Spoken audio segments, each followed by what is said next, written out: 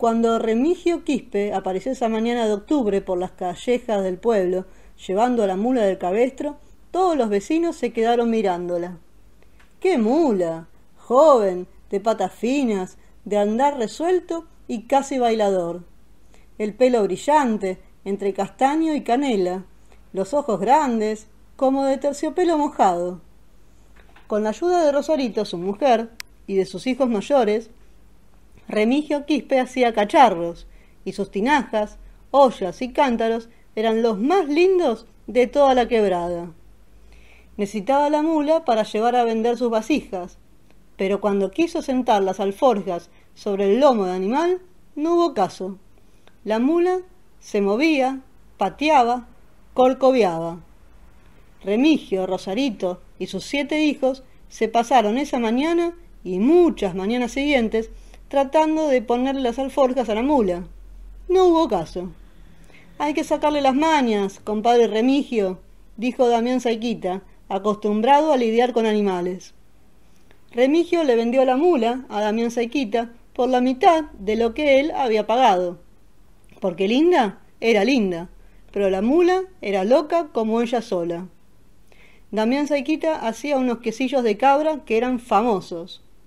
Con la mula llevaría a vender sus quesos a la Ruta 9. La mula, que a todo esto todavía no tenía nombre, tampoco quiso admitir las alforjas con los quesillos. Los chicos del vecindario se ofrecieron a ayudarlo, pero Damián Sequita no quiso ayuda.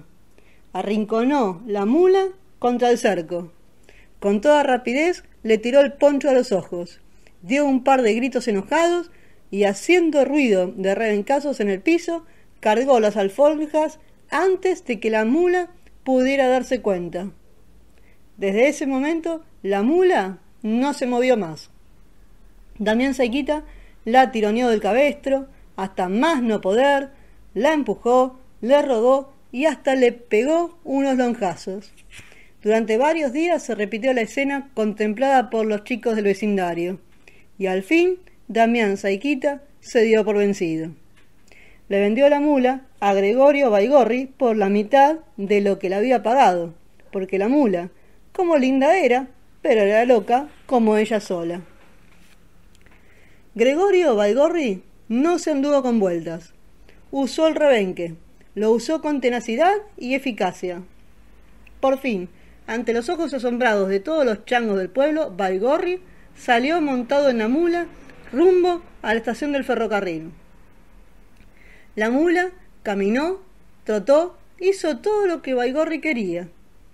De pronto, en un recodo del camino, se sentó sobre las patas traseras y dio un corcovo.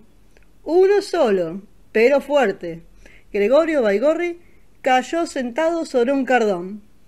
Gregorio Baigorri le dio la mula a otro vecino y no le cobró nada porque la mula era loca como ella sola. La mula fue pasando de mano en mano. La uncieron al arado, nada. Intentaron domarla, nada. No vale el maíz que come. Come gratis y no trabaja, dijo su último dueño, y la soltó. Desde entonces, la mula anda contentísima. Estaba claro, no quería obedecer a ningún dueño. La mula hacía lo que quería, jugaba con los chicos del pueblo y los acompañaba cuando llevaban a pastorear sus majadas. Los vecinos empezaron a olvidarse de ella. Era tiempo de cosechas y se venía el carnaval. Y el carnaval llegó. Fiesta y jarana. El primer sábado empezaron los juegos con harina. En el patio de Remigio Quispe se bebía, se cantaba. Los siete hijos de los Quispe no daban tregua a los cohetes.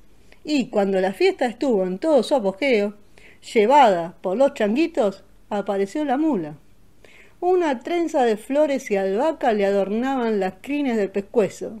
Estaba más linda y más loca que nunca. No se espantó por los cohetes, jugó con los chicos y hasta parecía moverse al ritmo de las chajas chayeras. Carnavalera es, dijo Remigio Quispe, y acertaba, porque la mula participó en los más importantes festejos del carnaval pueblerino.